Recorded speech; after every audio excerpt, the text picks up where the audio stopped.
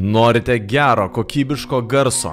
Domina lengvos, patogios ir gerai triukšmą izoliuojančios ausinės? Siūlome Razer Black Shark V2X. Šis Razer gaminys gali pasigirti 50 mm garsiakalbiais, ausims kvepuoti leidžiančiomis minkštomis kaušelių pagalbėmis bei 7.1 garso standartų.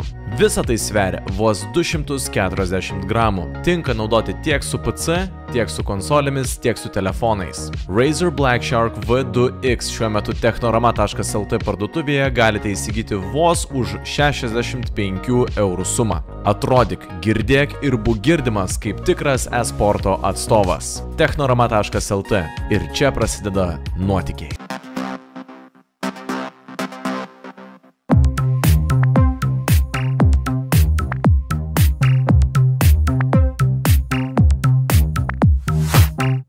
Labas žaidimų balso bičiuliai, su jumis Rokas ir visa žaidimų balso komanda.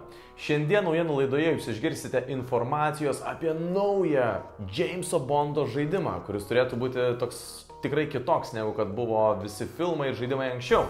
Pakalbėsime apie naują PS5 ekskluzyvą. Pašnekėsime apie tai, kokie žaidimai šį mėnesį bus išleisti Xbox Game Pass prenumeratoje ir pašnekėsime apie tai, kaip atrodys naujasis E3 renginys, nes jis tiesiog bus visiškai kitoks. Ir taip pat jūsų laukia informacijos truputėlį daugiau apie tai, kokių žaidimų dar galime tikėtis šį pavasarį. Bei kiekvienam gameriui tikrai bus įdomu sužinoti, kokios akcijos šiai dienai vyrauja įvairiose rinkose. Tiek žaidimų, tiek baldų, tiek visose kitose. Tad likite šiandien su mumis, naujienų laida truputėlį trumpesnė neįprastai, bet tikrai turėtų būti įdomi. Įsitaisom patogiau ir važiuojam. Nintendo jau pristatė naująjį savo projektą ekskluzyvą Pac-Man 99, kurio kūrimas rėmėsi retro klasikomis, o multiplayer režimas yra Battle Royale stiliaus. Žaidimo veikimas iš tikrųjų labai panašus į Tetris 99. Pac-Man 99 suteikia galimybę varžyti su draugais ir bandyti užkirsti jiems kelią į pergalę. Tai galima padaryti suvalgius vadinamasis jėgos granulės, vaiduoklį tampa pažydžiami, o tada juos galima išsiųsti į konkurentų ekranus. Bazinis žaidimas Nintendo Nintendo online abonementams yra prieinamas be papildomų išlaidų. Žinoma, už papildomus mokesčius galima įsigyti papildomo turinio. Mass Effect Legendary Edition atnaujinimai jau paviešinti. Šie pakeitimai apima žaidimo derinimą, pusiausvyrą, dinamiškų šešėlių patobulinimus ir dar daugiau. BioWare atstovai teigia, kad nori pagerinti būsimą patirtį, bet nepakeisti elementų, kuriuos gerbėjai jau pamėgo. Atnaujinimai ir taisymai apima visą trilogiją. Pirmąją Mass Effect buvo atlikti specialūs naujinimai, kad žaidimas labiau dėrėtų su trilogija. Į tai įeina AI patobulinimai, ginklų kontrolė, garso dizaino kovos metu atnaujinimai ir apšvietimo bei vaizdo efektų patobulinimai. Dabar Shepardas gali bėgti ir net nekovodamas. Buvo subalansuotas XP, o ir ginklai daug greičiau atvėsta. Tai tik maža dalelė visų atnaujinimų. Pilną sąrašą galite rasti internete. Legendary Edition išleidžiamas gegužės 14 dieną. Šį mėnesį Xbox Game Pass pasirodys GTA 5, MLB The Show 21, Wars, Zombie Army 4 ir dar daugiau. Kelių žaidimų tokių kaip Zombie Army 4, Dead War ar Disney Adventures sulaukėme jau balandžio 8 dieną. Reign of Your Parade pasirodys balandžio 15, MLB The Show 21 balandžio 20. Tačiau naujų žaidimų pasirodymas reiškia senų žaidimų pasitraukimą. Balandžio 15 atsisveikinsime su Gato roboto ir Wargroove o sekančią dieną su penkiomis Merin dalimis - NHL 18 ir NHL 19. Kaip žinia, E3 2021 šiais metais pasirodys tik kaip skaitmeninis renginys. Šiame internetinėme projekte išvysime Capcom, Konami, Microsoft, Nintendo, Take-Two ir Ubisoft. Deja, Bandai Namco, Activision Blizzard, EA, Sega, Square Enix ir Sony nepasirodys. Renginys vyks birželio 12-15 dienomis. Blue Box Game Studios pristato naują siaubo žaidimą Abandoned, kuris pasirodys šių metų gale PS5 konsolį. Istorijos protagonistas Jason Longfield atsibunda miške, neprisimindamas, kaip ten pateko. Istorijos eigoje Jasonas sužino, jog buvo pagrobtas ir dabar turi kovoti už išlikimą. Pirmojo asmens siaubo žaidimas pateiks realistišką požiūrį į išlikimą. Abandoned kels nerimą ir baimę kiekviename žingsnėje, nes kiekvienas neteisingas sprendimas gali būti lemiamas. PS5 yra puikia mašina tokiam įtraukiančiam žaidimui atgaivinti. Be to, šis žaidimas gali tapti Resident Evil konkurencija. FMV pagrindų sukurtas žaidimas Erika anksčiau buvo prieinamas tik kaip PS ekskluzyvas, tačiau gegužės 25 atkeliaus ir į Steam. Erika tai pasakojimų paremtas žaidimas, kuriame jūsų sprendimai turės didelės įtakos istorijos vystimuisi. Per šį nuotykį žaidėjai spręs Erikos vaikystės paslaptis. Patirtis stiprina touch variklis. Žaidimas gali pasigirti neįtikėtinais aktorių Holy Earl, Sasha Frost ir Terence Maynard pasirodymais. Garso takelį sukūrė nemažai apdovanojimų pelnęs kompozitorius Austin Winter, kuris kūrė muziką ir Journey, The Pathless, Assassin's Creed Syndicate ir John Wick Hex. Bond. James Bond. IO Interactive patvirtino, jog būsimas 007 žaidimas nenaudos ne vieno aktoriaus, kuris iki šiol vaizdavo agentą Bondą, kurie taip pat planuoja pristatyti visiškai naują savo personažo istoriją. Nors visa ši idėja skamba perspektyviai, IO Interactive stipriai rizikuoja, kadangi filmų ir žaidimų lyginimas yra neišvengiamas. Panaši lemtis ištiko ir Marvel Avengers, kai gerbėjai sužinojo, jog žaidimo personažai netrodys kaip filmų herojai. Sunku patikėti, tačiau ši diena išaušo. Jau dabar galite įsijungti Xbox konsolę ir žaisti Halo su pele ir klaviatūra. Prieš kelis metus Xbox atstovai buvo labai skeptiškai nusiteikę ties šiuo reikalu. Pastabose minimos pritaikymo neįgaliesiems parinktis, naujas Escalation Slayer variantas, naujas Halo 3 žemėlapis. Žinoma, yra atskiras naujo turinio sezonas pavadinimu Raven. Šeštajame sezone taip pat sulauksime naujų animuotų nameplates, naujų kostiumų spalvų ir naujų iššūkių. Pasirinktinuose žaidimuose multiplayer režimas suteiks galimybę žaidėjams keisti komandas mečo metu. Pilną atnaujinimų ir pataisimų sąrašą galite rasti internete.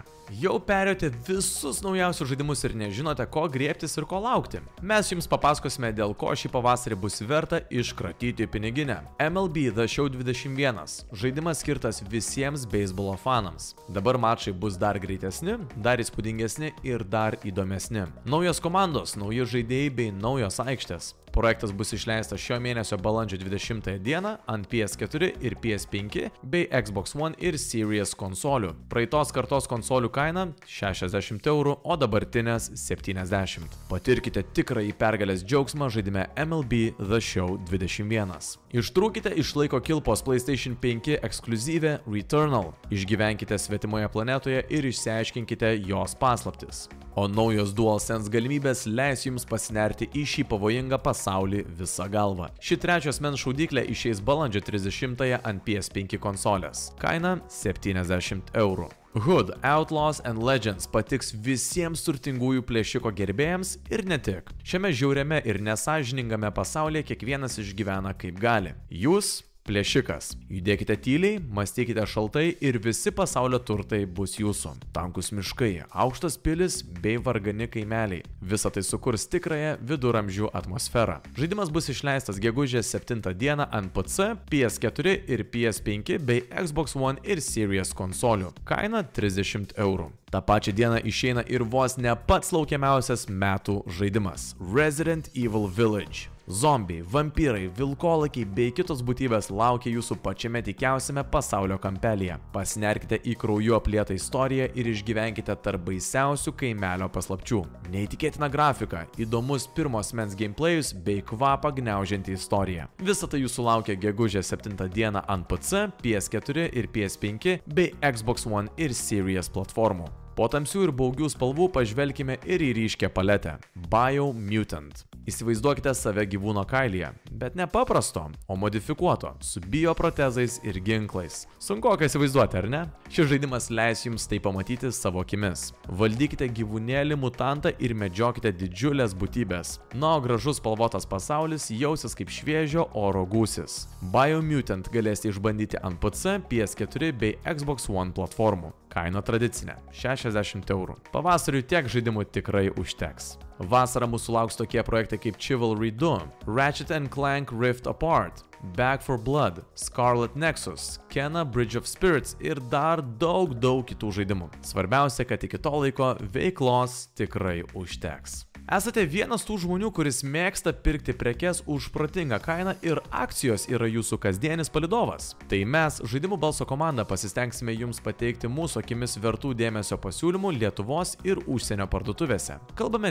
tiek apie techniką, tiek apie žaidimus. Pradėkime nuo pigu.lt internetinėje parduotuvėje siūloma žaidimams skirtą stalą Skill CTG 1260. Šiuo metu jo kaina sumažėjo net 48 procentais ir siekia 200 88 eurus. Reguliari kaina apie 560 eurų. GameRoom.lt parduotuvėje startavo savaitės trukmės Ubisoft žaidimų išpardavimas, kur kainos nukirstos iki trečdalio. Didžiausio kainų sumažinimų sulaukė Immortals Phoenix Rising, Just Dance 2021 ir Watch Dogs Legion projektai. Baitukas.lt siūlo įsigyti PS4 ausines Trust GXT 488 vos už 40 eurų, kas yra beveik 25 eurais pigiau. HumbleBundle.lt Games.com siūlo VR žaidimų rinkinį, kur sumokėję vos 12,5 euro gausite tokius projektus kaip Borderlands 2 VR, Surgeon Simulator, Experience Reality, Star Trek Bridge Crew ir keletą kitų. Novastar.lt tinklapyje galima įsigyti Trust GXT 608 Titan 2.0 garso kolonėlės už beveik 23 eurus. Standartinė kaina apie 40. PlayPro.lt parduotuvėje yra galimybė įsigyti Razer produktų šiek tiek pigiau. Pavyzdžiui, žaidimų klaviatūra Razer Black Widow V3 kainuos tik 90 eurų vietoj 110, o žaidimų pelė Razer Death Adder V2 tik 60 pinigų vietoj 80. Primename, kad akcijos yra laikinos ir kartais gali keistis arba prekes gali būti išparduotos. Štai ir visos naujienos, kuriomis norėjome pasidalinti su jumis. Kaip matote, pati naujienų laida yra čiut-čiut pasikeitusi dėka jūsų išsakytų minčių, jūsų pastebėjimų, kad naujienų laidos kartais galbūt yra truputėlį per ilgos. Mes jas sutrumpinom, stengiamės sukoncentruoti visas e, reikiamas naujienas į vieną vietą tam, kad jūs gautumėte pačią kokybiškiausią informaciją. Primenu, kad e, mūsų praeitą savaitę biudžetas studijai padidėjo 49 eurais. Ačiū tiem, kas prisidėjote ir kas prisidedate ir kas prisidėsite toliau. Ir biudžetas viso, viso labo yra 469 eurai, tai yra nemažai. Nu, bet matau, dar truputėlį ne viskas iki galo yra sutvarkyta. Ką dar norėjau pasakyti? Tai, kad um, šią savaitę vyksta konkursas, kuriame vienas iš jūsų laimėsite Arozi naują mikrofoną, kuris bus naudingas tiek paprastam žaidėjui, tiek galbūt streameriui, ar tiesiog galbūt jūs Zoom pokalbius turėsite naudėka būtent to mikrofono. Ir taip pat verta paminėti tai, kad kiekvieną penktadienį jūsų laukia informacija apie mobiliuosius žaidimus, mobiliuosius telefonus mūsų naujoje rubrikoje, rubrikoje kurią mes pateiksime kiekvieną penktadienį. Ir taigi, praeitos savaitės prizą Noctua marškinėlius, kuris, kurie beje bus labai faini, laimė šis mūsų komentatorius, fanas, bičiulis, kuris paliko šį laimingą komentarą, susisieks su mumis per vieną savaitę ir prizas atkeliaus tiesiai ant tavo plačių, o gal siaurų pečių, kaip ten bebūtų. Ir kaip mes kitą savaitę be prizo, tai be abejo mes padovanosime vienam iš jūsų taip pat dar vienus noktuo marškinėlius. Jeigu norite laimėti šį prizą, jums reikia palikti komentarą susijusi su šių naujienų tema. Ar jums jos patiko, ar jos buvo naudingos, ką galbūt pridėtumėte, vėlgi ką atimtumėte, tiesiog išsakykite savo nuomonę. O mes pasimatysime kitą savaitę naujienų laidoje, mobiliųjų arba tiesiog įvairių žaidimų tematiką. E, su jumis buvau aš, Rokas ir visa žaidimų balso komanda. Pasimatysime kitą savaitę. Ane šiša? Iki.